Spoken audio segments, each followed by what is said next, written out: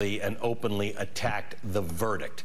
Um, now, I, help me understand this because clearly we, we can disagree with verdicts and we have appeals appeal processes. But the, the speed and uniformity with which Republicans have decided that this is just a political uh, prosecution or persecution, they seem to be using the two terms interchangeably.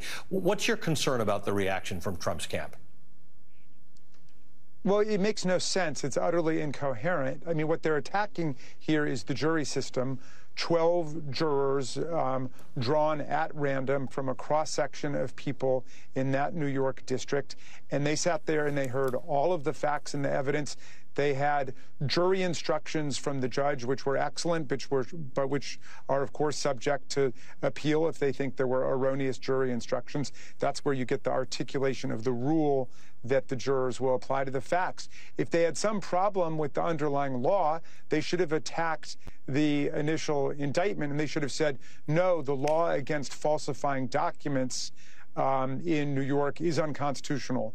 Or, you know, they they should have claimed that you have a constitutional right to cook the books in order to cover up a hush money payment um, from your, um, you know, from your corporation to someone. But they didn't make that attack. What they're attacking is the jury verdict, which means they're attacking the jury process. But I think the reason they've shifted over to this um, overblown theological critique, which just sounds deranged to me, is that there's too much cognitive dissonance at this point. What you've got is the religious right gathering around a guy who's an adjudicated sexual assailant, an adjudicated fraudster in New York, and now a convicted felon. And normally, these are the people who would say convicted felons should never be allowed to vote again, even after they've done their time, their probation and parole. They should be disenfranchised permanently, and they want him to become president of the United States. And so, given this explosive cognitive dissonance, now they're all saying there are demons involved and uh, mm-hmm. devils, and uh, you, you, need an exorcism or something. Let's, let's. Yeah, I mean, this is like an Atlantic City mob understanding of people who go into federal or state courts as judges, that uh, somebody owns them.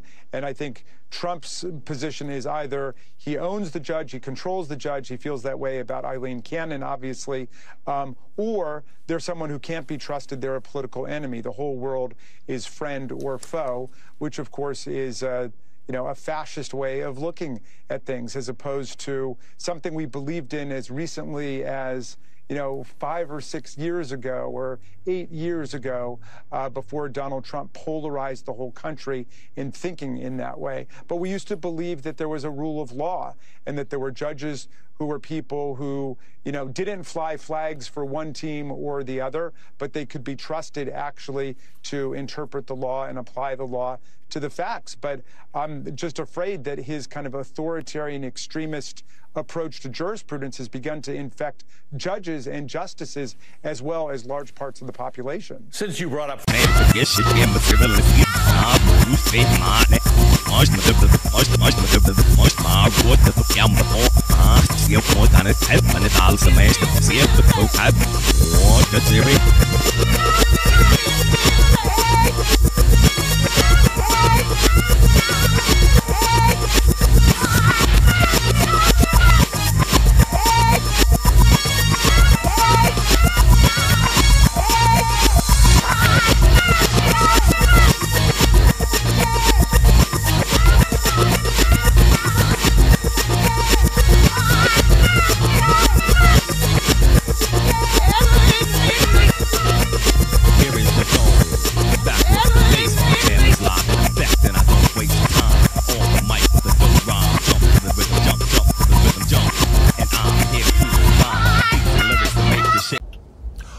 News. Meet the Conways. They're all freaky, and they're back. Um, that was a really bad attempt to try and put some uh, dumbness into the Conways. They kind of do it themselves, but George Conway is accepted.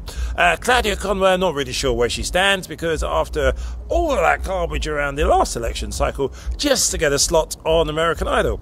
And then there is Kelly. Is it Kelly Lyer Conway? Whatever put it all together, uh, this is what happens. Kellyanne Conway puts out a tweet, and we get fewer shade from Claudia and George. But I do like George, by the way. I will say that now. By the way, this verdict won't change one fundamental thing. It won't make Joe Biden any less 81 years old. It won't make Kamala, uh, Kamala Harris um, smarter or more inspirational. It won't uh, excuse the fact that Joe Biden has crushed the American dream for so many people, particularly younger people. It won't, make those young people on college campuses and in our halls of Congress any less mad at Biden over his position in Israel and Hamas. And it certainly won't have stopped millions of people from pouring over a border that Donald Trump warned us of nine years ago. Nine years ago, he elevated that into the national consciousness. We have people from the terror watch list. We have people, Chinese nationals and the rest. So people are already feeling that we are not secure. We are not prosperous. They want that all back. And this will not affect their way. This verdict won't change one fundamental thing. It won't make Joe Biden any less 81 years old.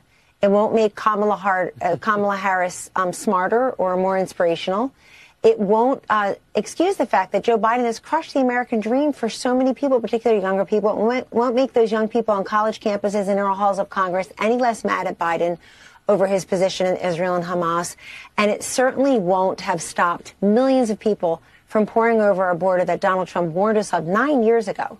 Nine years ago, he elevated that into the national consciousness. We have people from the terror watch list. We have people, Chinese nationals and the rest. So people are already feeling that we are not secure. We are not prosperous. They want that all back. And this will not affect their. I got roped into it so quickly.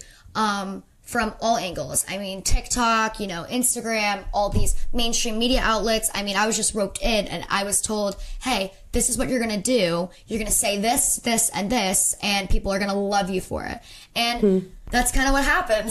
So, yeah, it, it, it, sucked. It did suck. Almost saying that Biden was laughing and Biden's behind the whole thing. That is dangerous. Uh, what the guy at Newsmax is saying is dangerous. And the reason I say it's dangerous is because unfortunately, some people read garbage and their brain doesn't necessarily connect. Well, it does, but it kind of fuses and we end up with craziness like January the 6th. So shame on those at Fox and at Newsmax. Where the hell are you guys on this one, too, Mike Johnson? Stop everything in Congress. Subpoena everyone. Don't take summer recess. Don't take weekends. Don't even get up to go to the bathroom. Get in there and subpoena everyone. This judge, his daughter, everyone affiliated with anything ever, ever. I don't care if we stop building bridges and highways and stop funding our government. You fight fire with fire. Otherwise, these Marxists are going to keep doing this. And red state AGs, you guys better start hammering these people. You have the opportunity now. They cleared the way. Look, Democrats took what they alleged was a federal misdemeanor from the FEC and made it a state felony 34 times over. There's no rules, apparently. Step up. I'm not just talking. You tyrants are about to awaken a machine you don't want. You are pushing people to the edge. The same party that is offended by the wrong pronouns is pushing the party that owns 90% of the guns, of which the majority defends our nation. Who- uh, do you have any thoughts about where this is headed? I look. I I hope, and, and I'm going to spend the next every day until J- July 11th working to make sure that there is no jail, uh, no jail sentence. I don't know what Judge Merchan will do. Um, I think he knows that he's been a judge for a long time. He, he knows the law, and I hope that he sentences um, appropriately. But no matter the sentence, we hope that it's stayed for sure pending appeal because because it's not even all Judge Merchan, right? It's the district attorney that brought this case, and, and there's a well, lot of things that need to be appealed and exactly what he was going to do today and tomorrow. And, and we're going to fight. Look, this case is ripe for appeal. I did not want to have to appeal this case. I wanted to win it at trial, and we didn't. But this case, we're going to appeal it, and I fully expect, I fully expect that we'll be fully exonerated on appeal. Serving as the president of this country, Hillary now is selling mugs on Instagram. In 2016, the U.S. justice system never held her accountable. The American people did. And this. Look how much money the Clintons have made and everybody else on the Democratic ticket in Washington, D.C. Hillary deleted 33,000 emails. She got away with absolute murder along with a lot of other things, including the Clinton Foundation. And, and guess who they prosecute? They prosecute Donald Trump because he's. Well, first off, this is completely rigged. I talked to Trump last night. He is going to stand for all of us and fight like hell. Our job is to do the exact same thing. We have to be clear. We are fed up and we're not going to take this anymore. So in the Senate, we're going to do everything we can to block judicial, any appointments the, of the Biden administration that we can. We're not going to fund any more programs unless it's tied to public safety. We're going to stop and we're going to make sure there's no money for this lawfare against Republicans, including Trump. So with and guess what? He was the bull in the china shop who went into Washington, D.C. and tore apart a corrupt system. He hurt their feelings, he smacked them in their face, he exposed their corruption, and they are lashing out on him. And they are using every aspect, every tool, every knife, every arrowhead that they have to get him using AGs, get him using crooked judges, get him using DAs. They go into the most far left areas of this country, the you know the the, the Fulton Georges, the Washington D.C.s, the lower Manhattans, where he got 10% of the vote. They hand it to their buddy who's a judge. They use a crooked DA, and they go after him criminally and civilly because they couldn't get him in Washington D.C. and they know he's created one of the greatest political movements in history.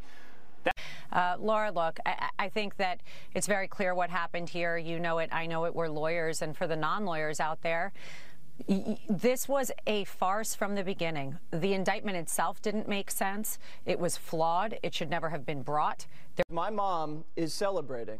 She texted me that she was dancing after the verdict, dancing. And then she kept all day sending me 34, 34, 34 felony counts, Harold. You know exactly what I'm talking about. Um, she's a grandmother.